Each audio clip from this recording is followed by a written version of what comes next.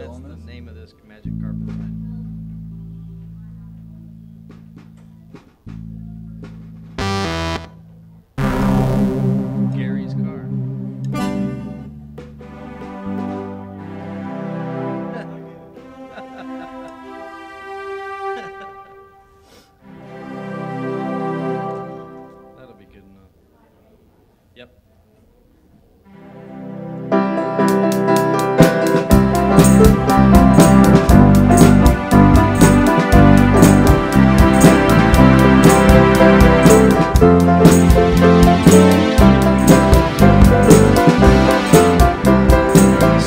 the wondrous love of Jesus.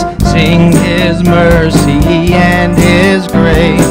In the mansions bright and blessed, he'll prepare for us a place. When we all get to heaven, what a day of rejoicing that will be. When we all see Jesus, we'll sing and shout the victory. While we walk the pilgrim's pathway, clouds will overspread the sky. But when traveling days are over, not a shadow, not a sign. When we all get to heaven, what a day of rejoicing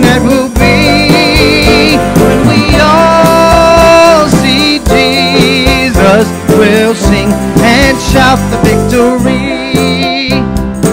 While we walk the pilgrim's pathway. We're going to do that verse again just because I like it, okay? We're going to sing it one more time in this new key. Here we go.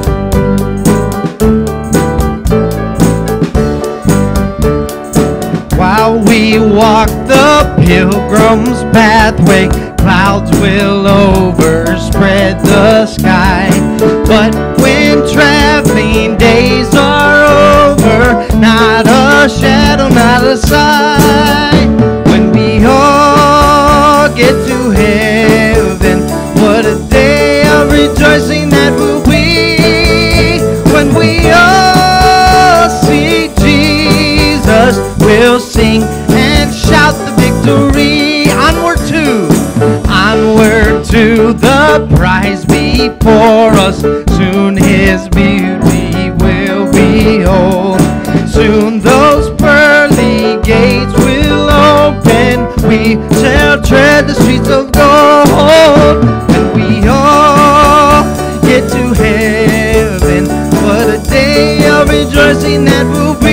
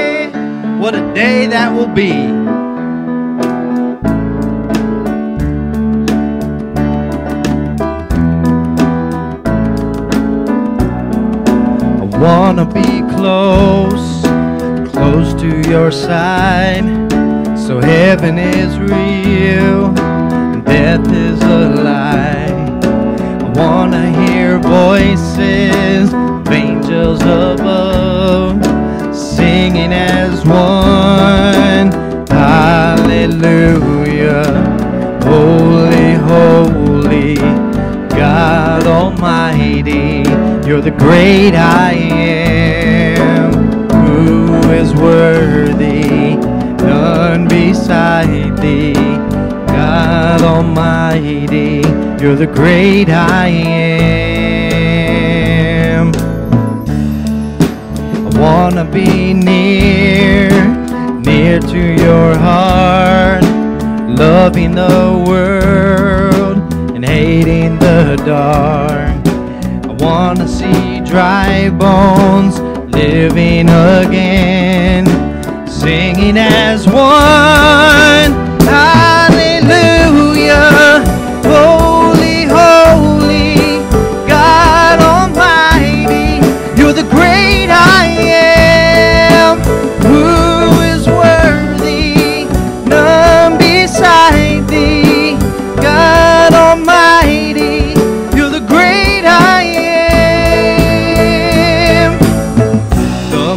And shake before you. The demons run and flee at the mention of your name, King of majesty. There is no power in hell or any who can stand before the power and the presence of the great I am, the great I am, the great I am.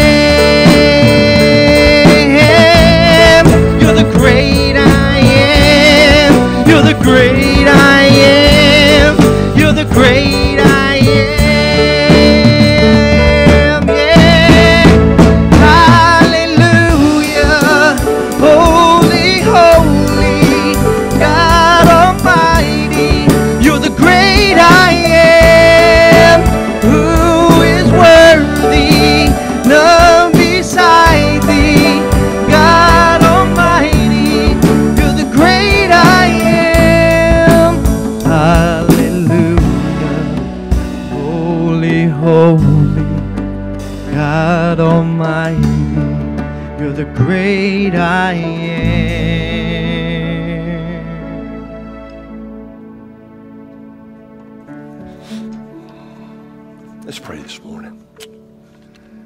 God, you're a mighty God. You're the great I am.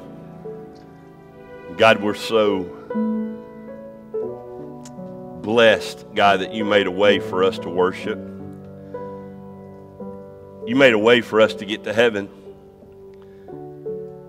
And that's Jesus Christ, your Son, the one and only. He gave his life for us. And God, we bless you this morning, and we thank you, Lord, for the very privilege we have to, uh, to be before you. God, online and in the building this morning, God, what a, what a privilege it is, Lord, to love you and, God, to give our all to you this morning. God, it's my prayer that we just kind of raise our hands and surrender this morning and just say, Lord, have your way.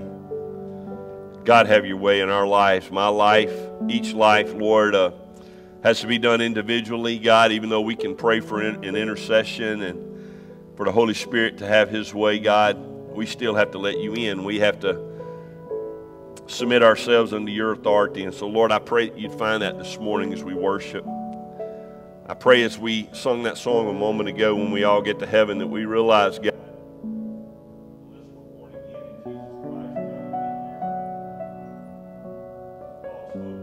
the world. The only hope that we have is in Jesus Christ. I talked about that, and the folks may be listening from Brookhaven this morning. Talked about that in the funeral this week. And so, God, I pray.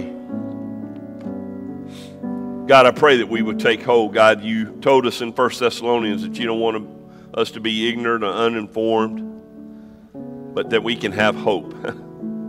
And that hope is in Jesus Christ. God, I pray that people would learn to run to Jesus. My heart's heavy this morning, God, just because so many folks want to do it their way. They say it's their life. Leave them alone, let them go, let them do what they want. God, it's just not that way. And God, you called us to live in a life that's in obedience to you. God, you called us to be our brother's keeper. You called us to make good decisions. You called us to Lord, display and magnify God in all that we do. So, God, I pray this morning, God, that we would relinquish control of our life, that we would give it to you. God, I pray for the Christian, the born again one who's uh, living away from you right now, not where they need to be. I pray, God, that they would find their way back, that they would go back to the last point of disobedience and come back to you. And then, God, I pray for that individual who's never cried out to you for their salvation, for forgiveness of sin and repentance, God, and turning from their sin, turn to you. I pray for them this morning. And God, I thank you for answered prayers. So many this week, God, and I just bless you for it. Thank you, God, for all that you do, God. What a mighty God we serve. The great I am. Thank you, Lord. Thank you for blessing us. Thank you for giving our special times this morning. In Christ's name, amen. You may be seated this morning. So good to see you and glad that you're with us this morning. Uh, I know we were running short on worship guides, but I think we can cover you this morning. And uh, if you don't have one, if you'll just slip your hand up right there, we'll get you a worship guide, uh, just up and down, and uh, they'll get to you. And uh, as you get that, let me just invite you, as you're a first time guest, that you will uh, fill out the Connect card there and turn it in. You can drop it in the offering boxes when you leave, or you can leave it on the pew and we'll get it from you. Um, we'd love to have that, okay? So do that for me. Um, let me just say a couple of words on announcements. Uh, of course, the COVID stuff going on and the rise in COVID stuff. We're not doing Bible study for the next, uh, we didn't do it today and we won't do it next week. Um, and then we just ask you to just be aware and uh, do what you can do uh, to protect you and others. Um, also, the let me remind you about the ballpark night. Jackson County Association. We got a special opportunity um, that um, takes place this Friday night. They're having a worship band at 5:30. Game starts at 6:30, I think, and they're going to do big fireworks afterwards and all of that. And the tickets are nine dollars, but you have to use the code FAITH when you go in to get them online. You go to the uh, Biloxi Shuckers website, and uh, that's a reserve section, and uh, it's going to be good. And uh, so gives you an opportunity to go out to the ball game with the family, and uh, they're doing a special rate and all that for Jackson County. But if you know some other use that and, and, take them. That'll be great. So I wanted to make sure we get that across to you. Celebrate Recovery We'll meet this afternoon uh, from 5 to 7. Not doing any other extra activities, but we want to make sure that Celebrate Recovery meets and uh, be praying for that. We'd love for you to come and worship at 5 o'clock, and then you'll be done by 6. Um, and uh, unless you want to stay for the 101 stuff, and uh, you can do that as well. Let me, uh, I mentioned the answered prayer to you. Let me just say a word to you. Uh, both Johnny Johnson and George Smith came home this week, and uh, praise God for that. Um, yeah, give God a hand. 43 days for Johnny in the hospital, most of which was on the vent, all right? Uh, George, most of you know that story. Um, I think George and Geraldine are listening this morning. He called me last night just to talk, and uh, you know how much we all love them. And, uh, you know, on the vent for four months. And uh, now he, he, he's taken, uh, I don't know, 50 steps or so with a walker, and they discharged him from the hospital, and then he'll start his therapy here and all of that. And here's the other miracle. They told him in the hospital that they didn't think they were going to be able to take the trach out right away, and they were going to have to do some uh, laser surgery and different things like that, and he was going to have to go back to New Orleans. Well, I don't know how it all worked out, okay? But they got him to a doctor in Ocean Springs, and I don't even know who it is. But on Friday, they took the trach out, sealed it up, with no surgery. They told him that he wouldn't be able to talk unless he held his hand over it, but he can talk normal. And uh, so, another miracle of God. Uh, and so, just uh, praise the Lord for that. And uh, so, I want you to continue to pray for Jay Price. Uh, Jay's still in ICU, uh, in isolation. And uh, so we just need to pray that Jay will get stronger and stronger. And then Miss Kathy and Brother Walter are here, but Miss Kathy had a heart cath this week and had a stent put in. And Brother Walter back surgery. And so, anyway, just remember them. Um, got some folks fighting battles with the, uh, with the uh, variant, um, the Delta variant. Uh, Amber's got a friend, Sam. Uh, it's a lady, Samantha, who's just put on the vent last night. And uh, so just pray for her. And then Ariel, I ask you to be praying for her. Uh, and then I want you to be, I was looking for Norman and Tish. I don't see them. Uh, huh? Oh, okay. Um, Norman and Tish, I want you to be praying for them because this next weekend, many of you don't know, and I don't know the exact number of years, but uh, Norman has not been able to see his daughters. He's got two of them uh, for a number of years, okay? Norman found out some months ago that they thought he was dead. They had been told he was dead. And uh, so Norman has been in working with Georgia and the state, and the girls are in foster care. Uh, this coming weekend, Norman is going to see uh, one of the daughters, and uh, first time. And uh, it looks like in the near future they're going to be coming to, or one of them is going to be coming to live with them. And uh, they're working through these processes. So she's 15. And uh, so I want you just to be praying for them and uh, get a chance to encourage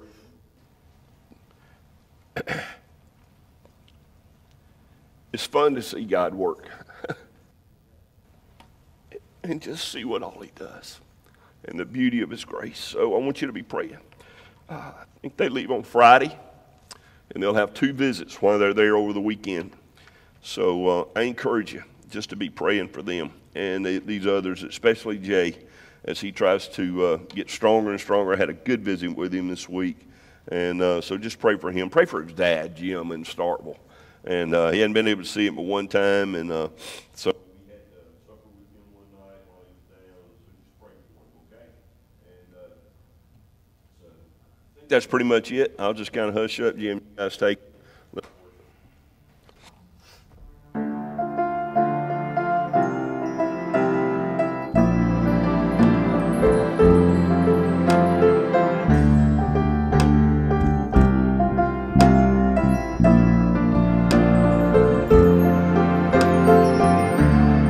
Before I spoke a word, you were singing over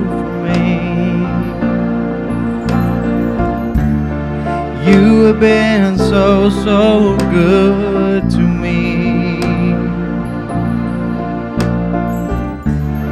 Before I took a breath, you breathed your life in me. You have been so, so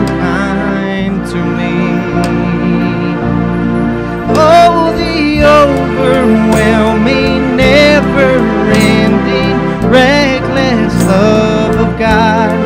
Oh, it chases me down, fights till I'm found, leaves the 99.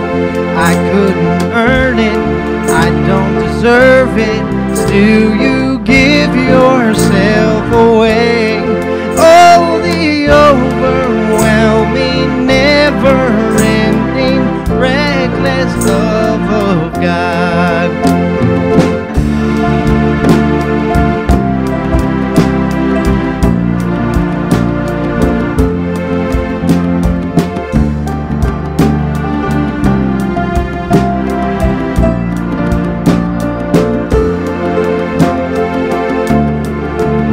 Was your foe, still your love fought for me. You have been so, so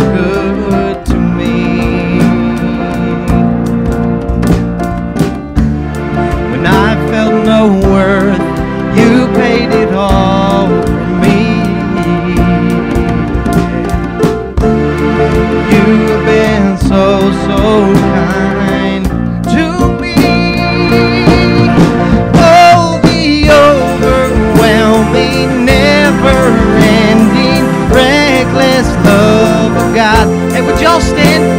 It chases me down, fights till I'm found, leaves the 99. I couldn't earn it, and I don't deserve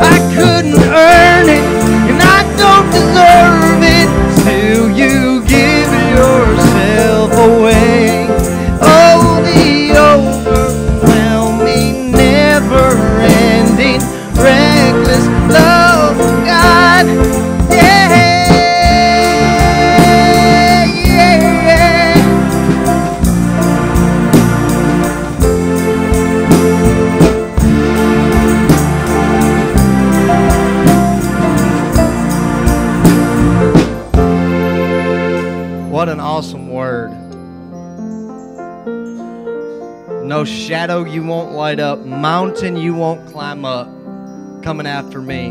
I was reading a book this week, and we're talking about, you know, how dark times and tough times and all of that.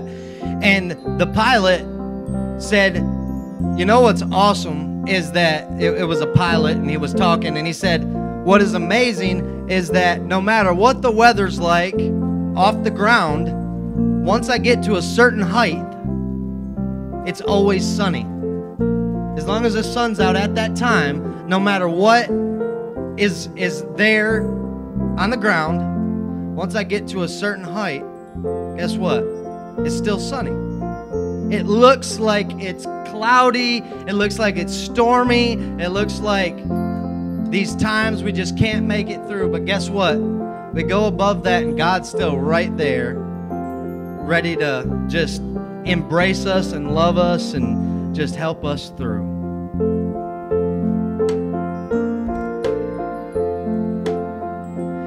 My Jesus, I love thee. I know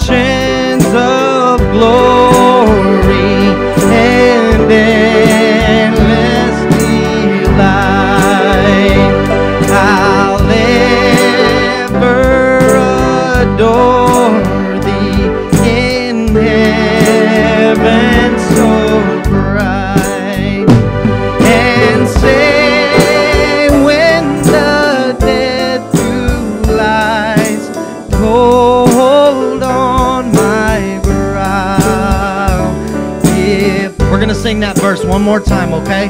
I love thee, my Jesus. I'm doing hybrid verses. I'm putting them together just because I love that third verse, so I get to sing the third and the fourth. All right, y'all sing it with us, okay? in mansions of glory and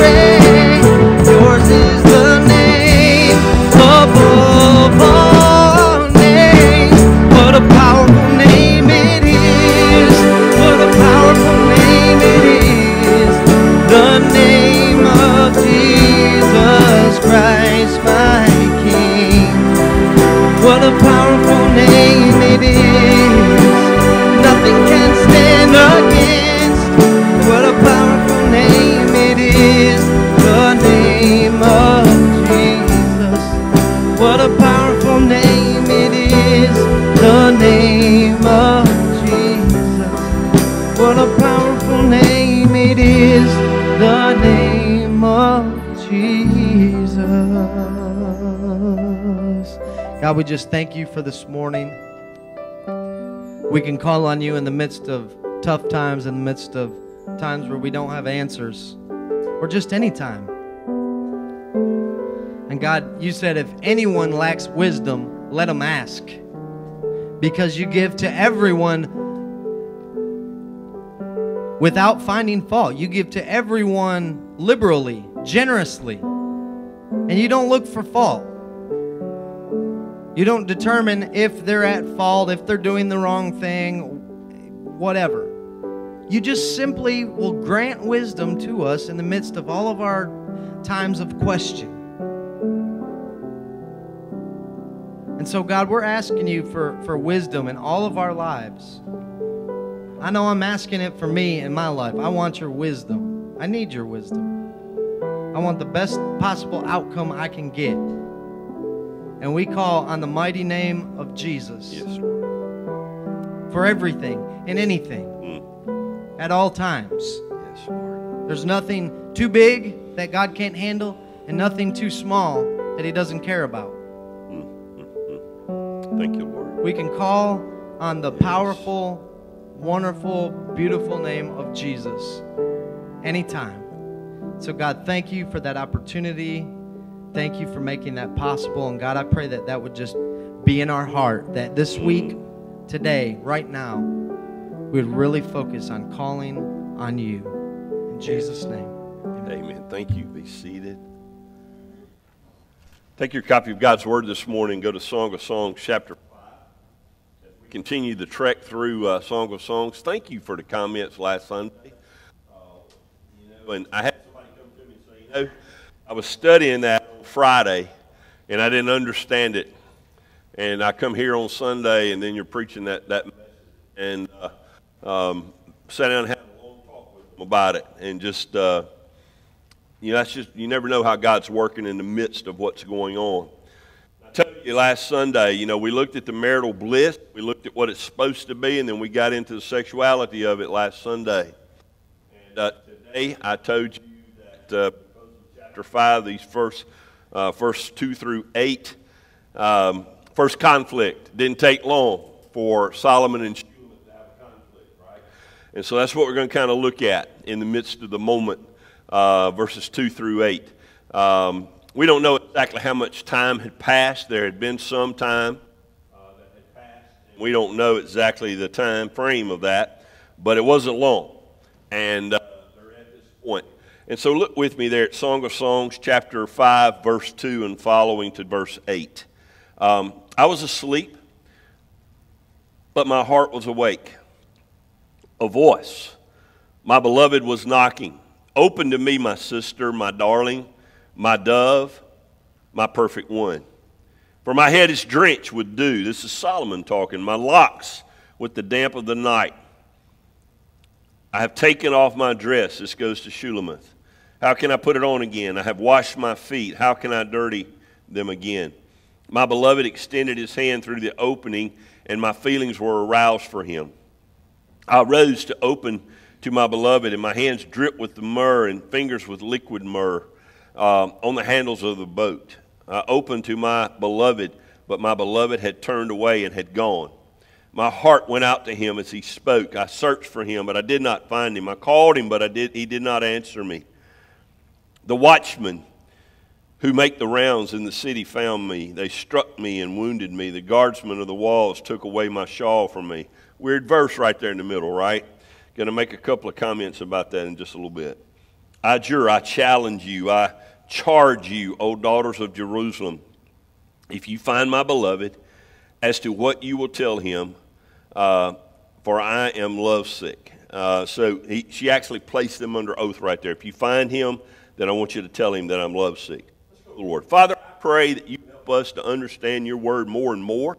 And God, to get into the poetry of that and try to break it all down because when we read it, uh, without studying it, God, we in the world all that saying. So, God, help us with that this morning. Holy Spirit of God, that you cover us and speak into us uh, this morning. That's my prayer, God, that you would do that uh, in the midst of wherever we are, uh, in our life, in the midst of relationships, in the midst of marriage, um, the different things that's going on in life. God, help us to look at that in a real way, in a godly way uh, in a way that honors you, Lord. So we ask you to just bless this time, God. Open our spiritual eyes and our spiritual ears and our spiritual mind and our spiritual heart so that we might receive and understand the precious, precious, precious Word of God. It's in Jesus' name that we pray. Amen. You know, when you think about life, how busy it is, I mean, how quickly I did the funeral this week for a 41 year old man. Uh, I watched that young man in his early years, and I saw some things, and I watched and saw what God was doing in his life, and uh, I uh, saw God move in his life. And then uh, Jeffrey went through a tragic accident uh, and was paralyzed from the neck down. And uh, you know, I did his funeral this week, and precious mom and family and, and just talk to them about the, the, how quickly life passes and the fact that we're not guaranteed for tomorrow.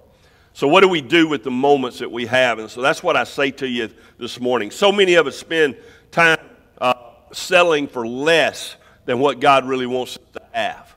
We settle for less than God's best.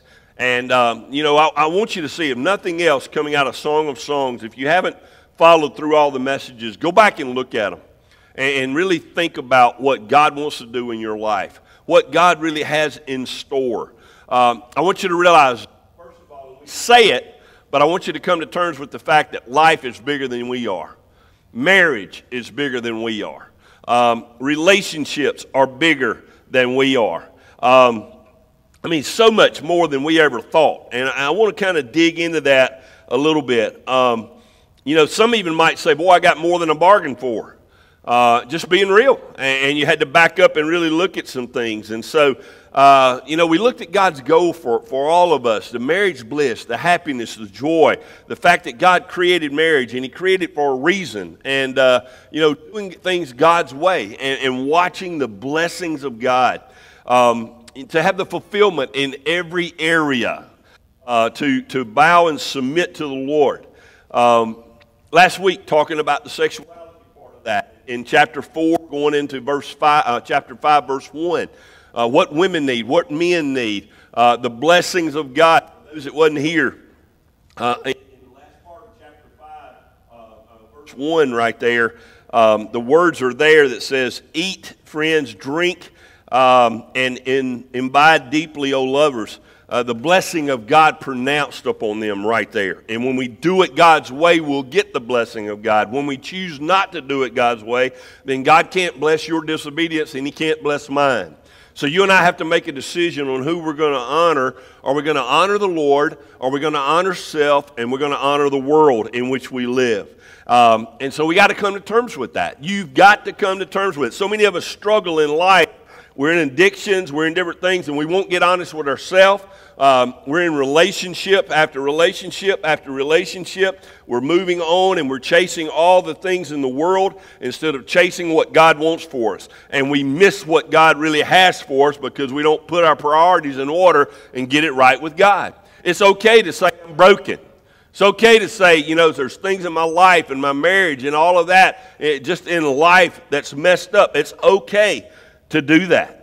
And so, uh, you know, Proverbs talks about, and I, I love that passage in Proverbs chapter 5, where it talks about the fact that you and I are to be intoxicated uh, with the love of our spouse. Um, you know, that word intoxicated, when you think about it and you think about what an alcoholic or an addict does, in fact, of what that does in their life and, and causes the reaction, the intoxication that you and I are to be totally consumed by that, uh, by the love of our spouse, and to really think about what God wants. Uh, this morning I entitled it After You Say I Do, and then After the Old Wow. After you say I do, and after the old wow, because it's coming. Uh, you know, that moment of saying I do, the commitment, the journey, the honeymoon, all of that the consummation of marriage, that's all part of the old wows. I mean, the planning of a wedding and getting into that and really thinking about marriage and, and dreaming about that. But so many times we don't get down to the basis of what marriage really is and how to bring two lives that have been raised in total different areas, maybe, and, and two different families with all kinds of values that are different, and bring them together and let them learn how to live together under the leadership of God. See, here's the thing. Before they get married, they think uh, life is full of sandy beaches, nice sunsets, great sunrises, nice tan bodies, sitting on the beach, watching the ocean, having the waves come in, sitting there sipping a, a cold soda or something. And that's the way we begin to think. But oh, when we put the ring on, and the next day, and the next week, and the next year, when things kind of go awry, we say, oh boy, oh me. The oh wow becomes an oh me and we begin to wonder about the reality of, of what it is because marriage is not always a nice tan. Uh, you, you know, most of the time when you get on further down in life, you don't look like you did when you got married. You don't, you don't have, you know, the, the same features. Your features change. Um, and, and, you know, here's the thing. I'll talk to you about it a little bit more. The thing is, when we're married several years down the road, 10, 20, 30 years, we ought to be doing the same thing we were doing in the first two years to stay, stay vibrant in our relationships. So that's what that's talking about. And, you know, I read something this week and it just kind of hit home to me. Um, do you refresh your spouse? Think about that. If you're in a relationship, do you refresh, uh, refresh that person that you're in a relationship with? Or do you bring a burden? Or cause complaints? Or create problems? I'll take you back to the question I've asked for weeks. Are you where God wants you to be right now? If not, why? Because if you answer that question, you're probably going to find out why the complaints and the issues and the problems are there. And, and you begin to think about life, and you begin to think about what God really wants to do. You remember those that's been here for weeks, the little foxes in chapter 2, verse 15? If you don't, then go back and read that passage on your own time. But the little foxes come in and destroy the vineyard. They run through uh, to and fro and they destroy the vines of the vineyards. And, and the warning was there to beware of the little foxes because they'll slip in on a daily basis and the reality of what may come. And, and you may say, well, what are those little foxes? Complacency, we're going to talk about that in a moment. Um, pro, uh, procrastination. Some of us are easy of saying, hey, I'll get it done tomorrow. I'll get it done. I'll do it. Um, the little things in life that um, irritate one another. Leaving our shoes out in the middle of the floor. Leaving the dirty clothes where we pull them off. Leaving your wet towels on the floor. Not taking care of the dishes, leaving them on the table. Some people get married, and because mama took and served them at their table, they think that whoever they married ought to serve them at the table. They don't know they got to get up and fix their own plate. They, they don't realize all of that. And, and little foxes that creep in, and, and then you say, Well, you're not going to fix my plate? No, get up and do your own stuff. Little fox. Little fox. Little fox creeps in and, and makes a crack right there. And then a big one lying. Lying. Even little lies. You know, and, and a half truth is a whole lie. And you're going to get caught You're going to get caught. Not respecting, uh, taking one another for granted, little foxes. Uh, financial issues that we don't disclose. Um, I was dealing with a couple this week, and we were talking about some things, and, and they said, What is the most important thing in marriage? And I said, Two things communication and dealing with finances. How do you deal with finances? You get on a budget and you stick to it.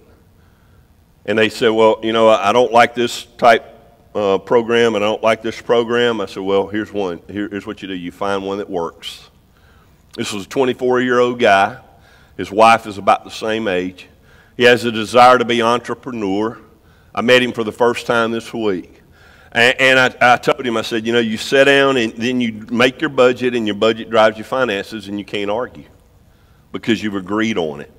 And so the reality of life is going to come. That's what I want you to see. It's after the I do's, it's after the oh wows, it's after the honeymoon when everything is glorious.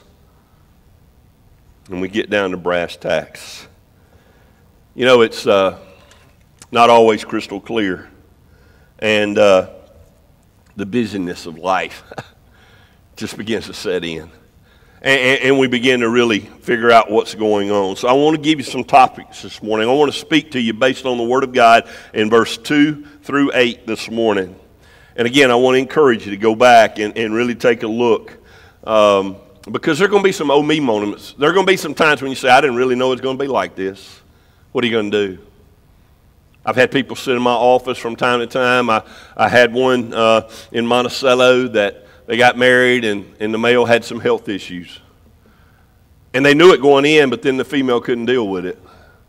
And they walked away because of the health issues. See, we like to talk about um, all of the, the good things. Uh, we like to talk about all the prosperity. We think somehow it's going to be golden years right off the bat, but we don't like to talk about the adversity. We don't like to deal with the adversity. We don't think about the adversity. So, the first thing I want you to think about this morning is real marriage in a real world. You could put relationships, real relationships, in a real world right there. I mean, after you think about it, after the honeymoon, after the oh wow moments, uh, the couple comes back and they settle into place. What happens? works, work begins, uh, schedules begin to, to come into place, and they get set, and then we have to deal with finances, and then we got to deal with health and real life. Real life sets in. And, and this is exactly what Solomon and Shulamith experienced. Exactly what we see there uh, in verse 2 when we're talking about this from a standpoint of that. What we find is that, um, think about it now, there's 111 verses left, uh, 88 of which Shulamith does the talking. 88 of which she does the, the talking. And so, uh, you know, uh, we followed them all the way through their meeting, their courtship, uh, the, the marriage, the engagement, all of that stuff. We followed it through. And uh, here's the deal so many marriages, so many couples, so many relationships have false expectations. They have false uh, uh, goals, if you will, or false fantasies. Their, their fantasies are there. And then they get married, and the reality is there. So, what we find in verse 2, let's just kind of talk about it. Shulamith was asleep. It was late at night, probably after midnight. We, you know, scholars think that, that it was late at night. Uh, Solomon had come home late. Um, his head was drenched with dew. Uh, his locks or water. What in the world does that mean? Well, in that part of the world, about midnight, there's a heavy dew every night. That's what really refreshes the plants because of the, the, the, seasonal activity and the fact of the heat and all of that kind of stuff. The heavy dew falls and it refreshes everything. And so he's outside and he's coming in and he's knocking at the door. He's knocking and uh, he uses his poetic language. You know, he's done good with that so far. And uh, it's late. So he says, Open to me, my dove, my perfect one. I mean, he is talking, uh, he's using that language, but it didn't work. It didn't work this time. And so uh, when you begin to just think about it, I mean, let's just think in real moments. Shulamith probably had waited up for him. Uh, she had gotten tired and, and laid down, and it was sleep. Uh, it was late, so she had gone to sleep. And the reality is, she was ticked off. That's a good Southern term, right? That, she was ticked off. And so uh, she had drifted off to sleep. And so, uh, can I get a witness this morning? Any guys, especially before cell phones? get home to find um, your wife in the bed, asleep. Maybe your supper's in the refrigerator, or a plate left out, or whatever, because she had planned uh, for you to get home. And you didn't let her know that you were going to be late. And uh, so she waited up until she gave up. Uh, I know that's happened in our life, in our marriage. I, I, even in the day of cell phones, Selena called and said, Where you at? How come you're not home? You know, it's worse. To, uh, I, I, don't if, I don't know if I want to use the term worse. Uh, it's as challenging it is today because of the cell phones, because of the fact of being able to be in contact. Uh, and so, uh, you know, you didn't get the hello, you didn't get the good night. You didn't get the welcome home. And you certainly didn't get any extracurricular activity. Right? I, I, had a friend that used to run my Firestone store, and he'd say, uh, you know, after 8 o'clock, sex is out at my house. He got to be home early. No extracurricular activity. So, I mean, um, that's what Solomon faced. Let's just be real. That's the Word of God. You know, uh, you may say, well, that's kind of awkward looking at that, you know, and talking about that. Aren't you glad that's in the Word of God? Aren't you glad that God just deals with it and God's not afraid to deal with it? Now, the reality is, Solomon probably got held up at the palace office. Now, he could have sent a servant over to tell her that, hey, I'm going to be late, but evidently he didn't. And he's doing the king's stuff, right? And, uh, you know, he had, uh, I mean, he had spoiled everything for the evening. I mean, she had it planned out. So here's the deal. What do we learn from that? Be careful with complacency the little fox I talked about a moment ago. Uh, the fact that we take each other for granted, um, that, that's a big deal. Be careful with complacency. Um, you know, in the beginning, isn't it amazing how we do the, the little things to make ourselves desirable? Isn't it maybe the time uh, you ever relate to this where uh, you guys that are married and spouses, uh, you go into the bathroom, maybe one leaves and goes to work early, and you write something on the bathroom mirror, and the other one comes in and finds it later. You get a special text nowadays, uh, or you get a special note in your lunchbox uh, when you're working and you open that up and wow, you got a little note. But the sad part about that is complacency sets in and we begin to drop the little things that really matter. We, we, we begin to just take one another for granted. And, and we get in trouble um, because routines become ruts. Isn't it amazing when we think about complacency and begin to take everybody for granted? And, uh, you know, I mean, the truth is sometimes things happen, right? You can't help that. Um, you know, Selena, I'll just be honest, gets irritated when I don't answer my phone she calls. And I try to answer it every single time when I see her. Matter of fact, if I'm in a meeting and her or the kids call, I'm usually going to answer it if I can. Uh, and, uh, but she gets aggravated when I don't help that. I mean, when I don't answer that. And sometimes I can't help it but I, I, try to answer it, you know. And, and, here's the deal let's look at the reality. Sometimes the, the job trumps the things at home, but it doesn't need to become the norm. It, it doesn't begin, need to become everything that, that every day. Um, and, and, you know, uh, you don't do that often. Uh, don't take your spouse and your family for granted. You don't know when it's going to end. I wonder what would happen. You know, I, I, uh, I said Sunday, uh, um, this week when I was doing that funeral on Thursday, and I've used the question here, and probably every pastor has. I just stopped in the middle of the funeral. And I just felt like, I mean, there were some things going on inside the funeral, and there were some people, just different things going on. I won't get into details, but I just said, let me ask you something. If you knew your life was going to end this, after, this evening at 9 o'clock, what would you do different? The funeral was at 2, and that was probably about 2.15, 2.20. I said, you got a little less than seven hours. What would you do? What would you do? So I proposed that to you this morning. What would you do if you knew your life was ending today at 6 p.m.? What difference would it make in your life? What would you do different? There's four things that I want to give you. It's in your worship guide that, guys, your wife needs your wife needs. And, and, and, writers, Bob and Yvonne Turnbull, write this. And, and their book, it's a good book for you. It's entitled Teammates. It's entitled uh, Building Your Marriage uh, to, com- to Complete and Not Compete. All right? So it's a good book. And they, and they talk about these four things. The first thing they talk about is time. Time. Devotion. Spending time together uh, just giving time, listening. You know, we, we know that uh, in, in a normal day, uh, a lady's going to speak about two to three times more words than a man. but just to sit down and talk. Get, somebody said amen. I don't know who said that. Was that Brad back there? I put him on the spot. But he can do that because Frida's in the back. She's watching. So, uh, time, devotion. I don't know that was him, y'all. So, anyway, listen to that. Um, Devotion. Just, just sitting down and listening. Ask them how their day is, how their day went, all of that kind of stuff. Uh, listen to them. Spend time together. Um, and, and, just, just talk a little bit, all right? Uh, that's number one. Number two is the word talk. Words of affirmation.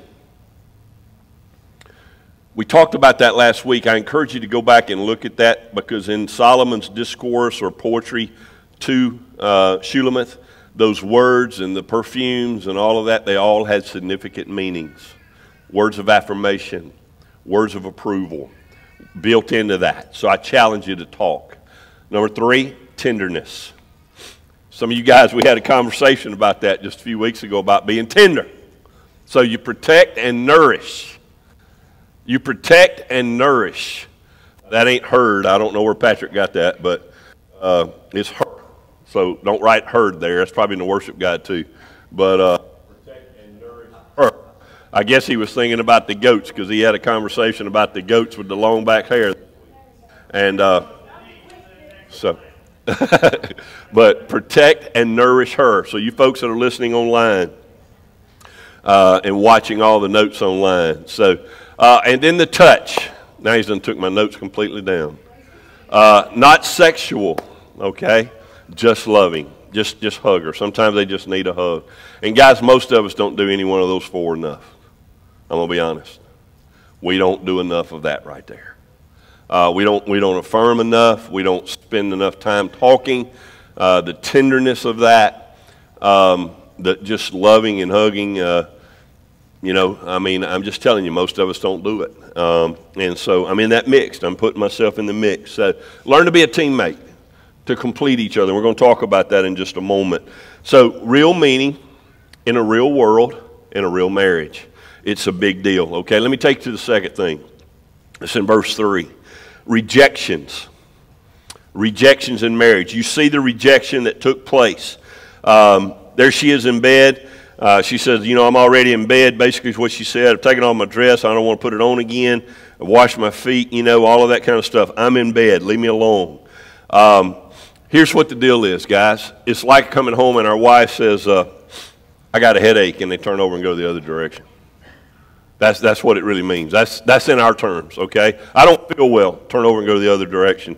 Uh, that, that's what that means. And so she's upset, she's ticked off, and really what she wants to do is pay back she's trying to pay back and, and uh, she's thinking why should i get up for him look what he did he could have been here earlier uh, and, and, he didn't come home and so uh, she's actually just really rejecting him from that standpoint and uh, she's returning the rejection for what she thinks solomon did to her and to them by not coming home earlier now here's a principle i want you to see and i'm not even, I'm not even sure it's in your notes um, vengeance and retaliation have no place in marriage or serious relationships.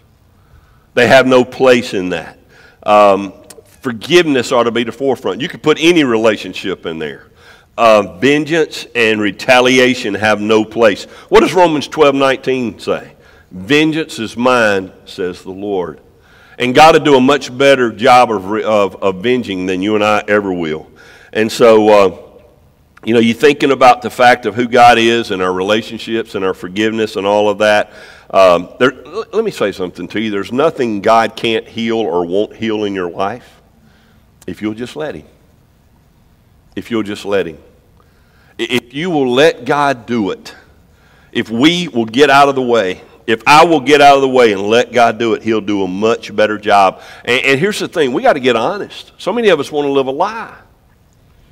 The first part of it is getting honest with ourselves, getting honest with God, and then getting honest with our spouse or our mate from that standpoint. So, uh, but here's the reality we get hurt, or we feel like we get sucker punched, and the reality is we want to retaliate. We want to make it harder on them than the hurt that we experienced. And here's what I want you to remember because here's what happens in arguments we want to win at all costs a lot of times. But when somebody wins, somebody else always loses. And that's not the way marriage is supposed to be. You need to think about that. If you don't write anything else down, write that down. When somebody else, when somebody wins, somebody else loses. And you know, what go, I asked you last week to go look at 1 Corinthians 13. And it talks about the love there. And I usually share that in every ceremony that I do uh, because I think it's an underlying principle. But in there it says, you know, love's not self seeking, it's not boastful, uh, it, it, love does not brag, love does not keep a record of wrongs. Think about that. Think about what God's do, uh, what God really wants to do in our life. Now, I talked to you about the four things that women need. Let me give you ladies four things that your guy needs. Want to stay equal there. Four things that the guy needs. And I think you'll agree with this. He wants you to be his cheerleader. I mean, a man thrives, a husband thrives on his wife's approval. It does me good when Selena gives me approval. Be his cheerleader. Whatever it takes, be his cheerleader. We say some bad things where we're mad and upset and, and not really thinking about what God's uh, in our life. We say some nasty things. We call people things that we shouldn't call them. We call our spouse things that we should never say never say. I talked to you about language last week. Some of the language that's used today in today's world would have never been said in yesteryear. And we tend to use some horrible, horrific language towards husbands and wives. Be his cheerleader. I mean, think about what he, what he needs and just, just lift him up. Be his companion. Number two, uh, be his companion, um, you know, his best friend. Go, go hang out. Uh, you know, that, that goes back to the time. Here's the things what ought to happen in marriage. You do it not because you like it, you do it because you love spouse. You hang out, you do things that they like to do because you love them. That's why you do what you do. Uh, you love God first, and then you do the things each other likes because you love God and you love each other. So you want to, to spend time together and you find ways that you can do it and be the companion. Uh, ladies, we need that. Be next to him. Reach over and grab his hand. Reach over and grab his arm. Uh, take hand in hand, those kinds of things. Um, we need that. And so I encourage you to do Be his best friend. You know, guys don't open up in a lot of different ways. They're afraid to open up because they're afraid it makes them uh, seem weak. And they need to be able to open up to you. They need to share their deepest, darkest secrets, and you need to be there to listen. And you're his cheerleader, and you're his companion, and you're his champion. Be his champion. Be, be the person that he really wants you to be. Uh, defend your husband, Pr- promote him, lift him up, let him count on you, let him know that you're in his court. Um, let him know you're in his corner at every turn of the road. Uh, and, and, some of us need to go back and do some apologizing in the, in the midst of that.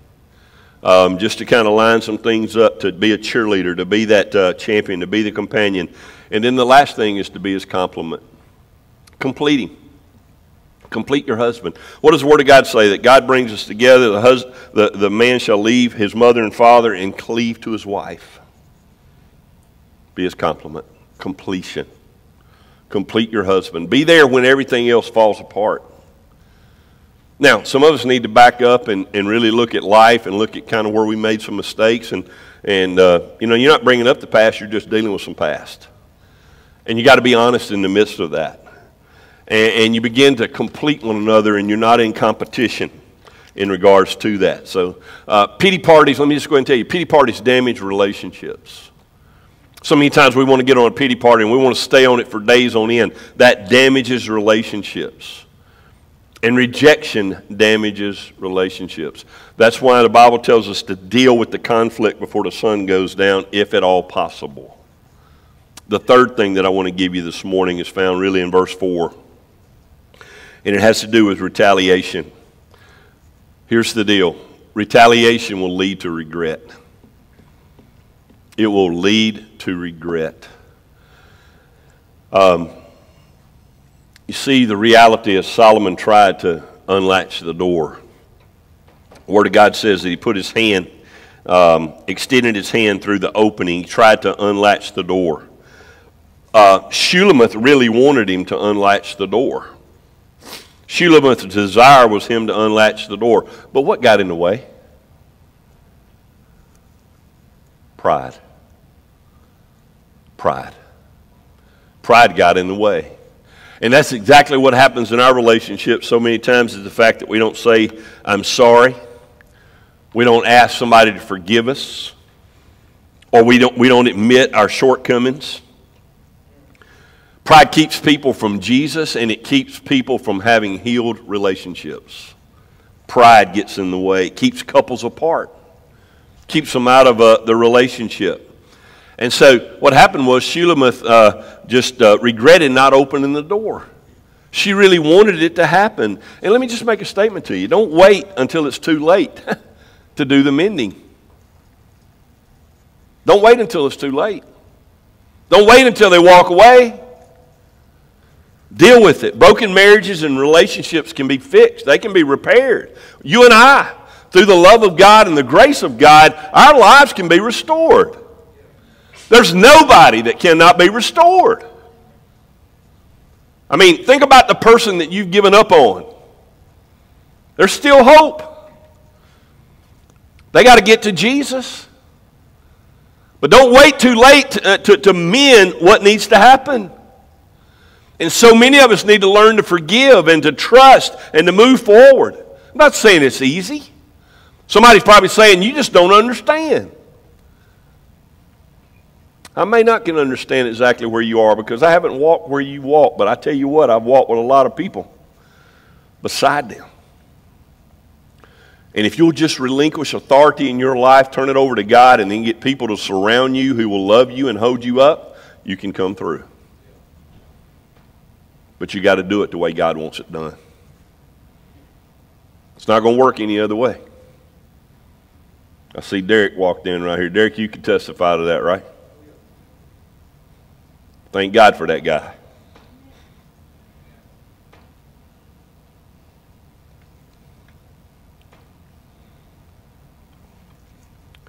He's like a son to me, and he knows that. But there was a time I had to walk away from him.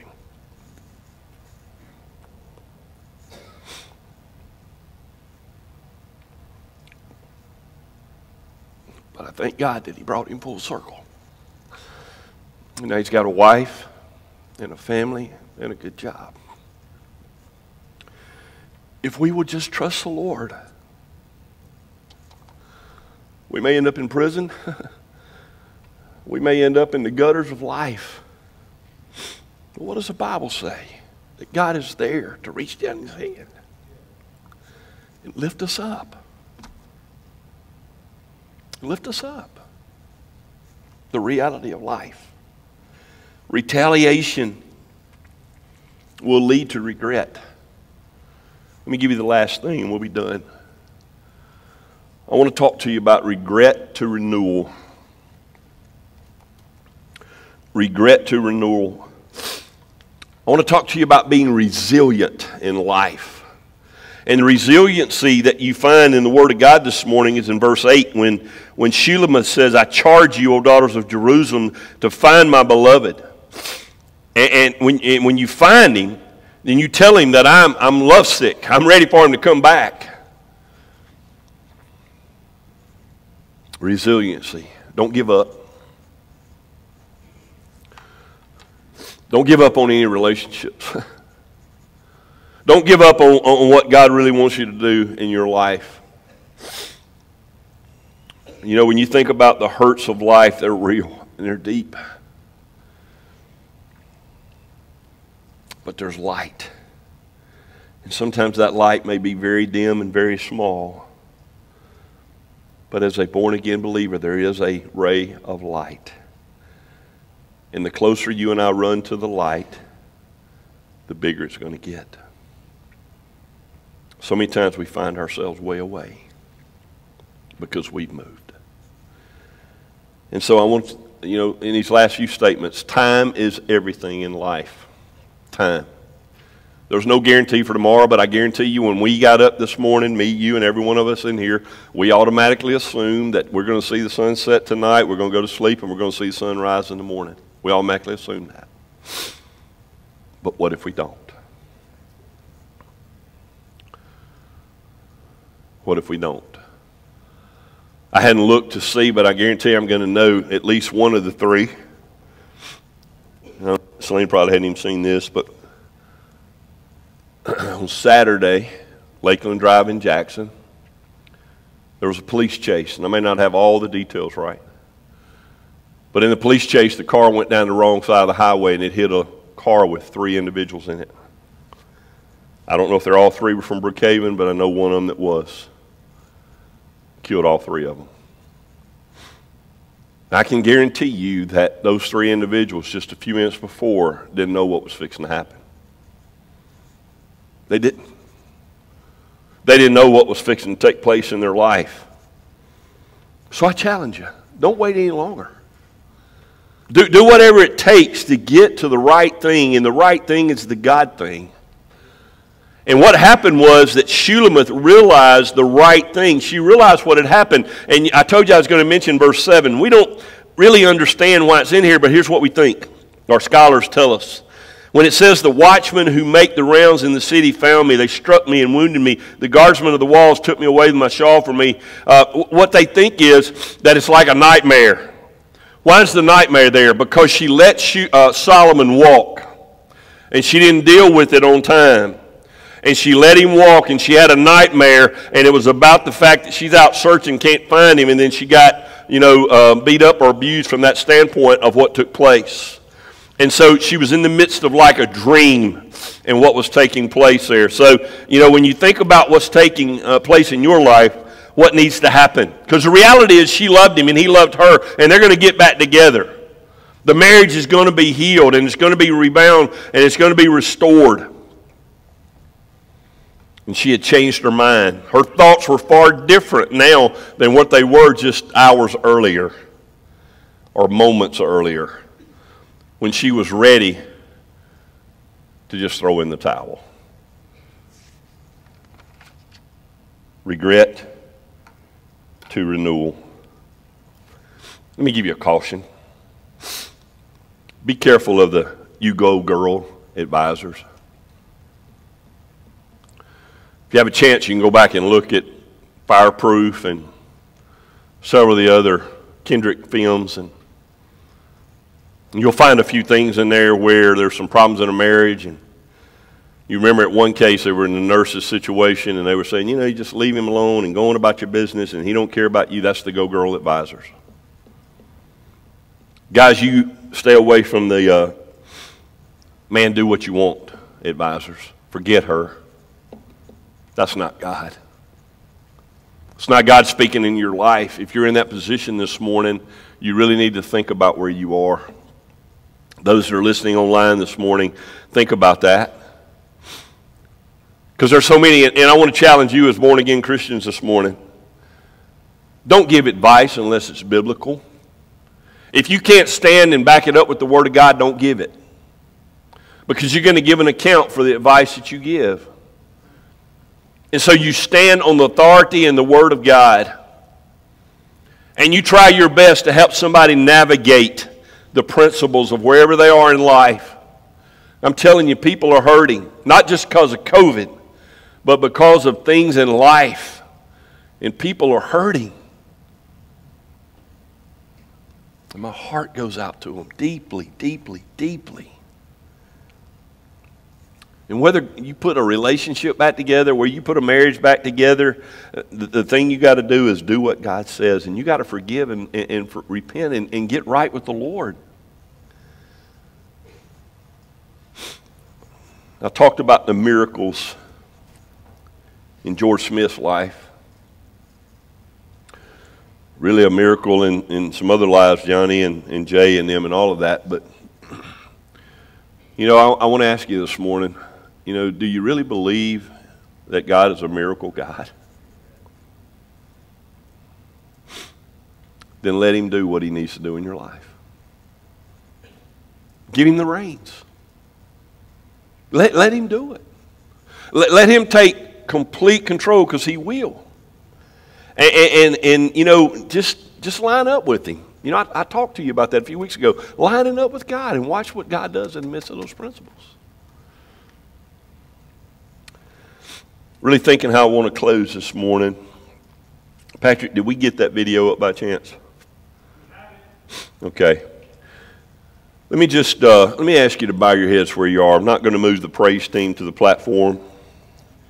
You folks at home, uh, uh, we're going to stay on for right now, but we'll go off in just a minute. Some of you have commented that you're so thankful that we stay on through the invitation. And we're going to do that. And here it is. I'm going to ask you to bow your head where you are. If you're listening at home, just bow your head where you are. And I want you to think about your life. What needs to happen if you know your life is going to end this afternoon at 9 o'clock? First of all, what needs to happen? What do you need to do? And maybe you want to take your worship guide and write it down. If you're at home, maybe you want to take a piece of paper and write it down. What needs to happen? Is there somebody you need to call or somebody that you need to speak to? Or, or maybe there's some repentance or some forgiveness or something like that that needs to take place? Will you do that? Second of all, if you've never been born again, and you can say, Pastor, I know that if I die today, I'm going to spend eternity in hell, separated from God. I want to ask you right now to, for, to ask God to forgive you of your sin. Repent and turn. Turn from that sin. You say it's hard. I, I know it's hard. I know it's hard. But there's nothing like it when you turn to God. And He will help you. And you got to allow people to come around you to support you. Ask Him to forgive you of your sin. You say, Pastor, I'm a child of God, but my life is so messed up. Cry out to Him for forgiveness. Don't let the moment pass. God loves you. He hasn't stopped loving you. He loves you. He loves you. You folks at home, I'd love to hear from you. You can message me. You can message us on the internet. Our folks in the building, I'm about to pray, and we're going to go off the air when I finish the prayer, and, and then we're going to close with a video. But I want you to think about restoration. That's what this video is going to be like, or what it's going to say, but I can't play it on Facebook. So we're going to have to go off. And I'll just tell you folks that are home before we go off that you look it up. It's Matthew West Restored. And I'm going to challenge you to look at it at home. And then our folks are going to get to see it in the building. It's about a five minute video, but it has so much importance. Father, in the name of Jesus, I pray, God, against the demon of brokenness, the, de- the demon of hurt, the demon of anxiety, the demon of separation, the demon, Lord, of just complacency, the demon of taking our spouses for granted. God, I pray you would help us to draw close to you, Lord, and you teach us more and more and more about how we're to love you and how we're to love our spouse. As men, we're to love our wives as Christ loved the church. And as women, we're to love our husbands in that same way. And God, to just share that love and to respect one another and to honor one another and to be companions and to, come, uh, to complete one another. So, God, I pray you would help us as we study these realities of marriage and life, that everything's not going to be uh, prosperity. There's just going to be adversity. But how do we come through? It's the cord of three strands. It's God in the middle. So, God, you bless this morning as we share this video in Christ's name. Amen. We haven't already left. We'll leave Facebook Live because we're not.